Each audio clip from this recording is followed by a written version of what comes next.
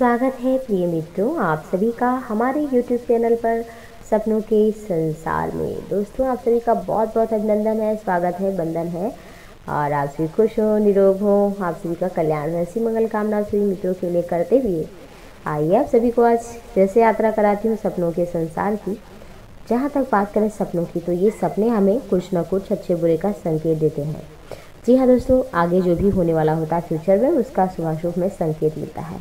तो अगर आपने सपने में सब्जियों को देखा है तो उसका फल जानते हैं, अगर आपने सपने में देखा है अदरक को तो ये सपना आपके जीवन में अच्छा संकेत देता है। मान सम्मान आपको मिल सकता है। कोई अच्छा कार्य आपके द्वारा हो सकता है, जिससे आपको खुशी मिल सकती है।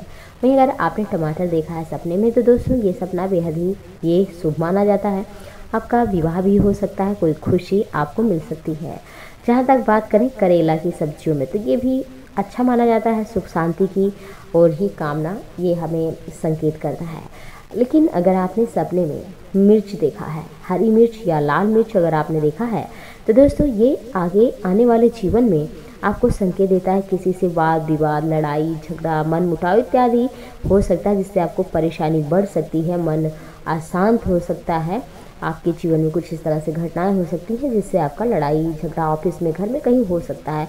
तो आप अपने को संभाल कर रखें। तो दोस्तों, ये था स्वप्न में सब्जियों को देखने का सुबह शुभ परिणाम आगे मिलेंगे नई जानकारी के साथ। तो मेरे साथ बने रहने के लिए चैनल को सब्सक्राइब करिए नमस्कार बहुत बहुत आप सभी दोस्तों का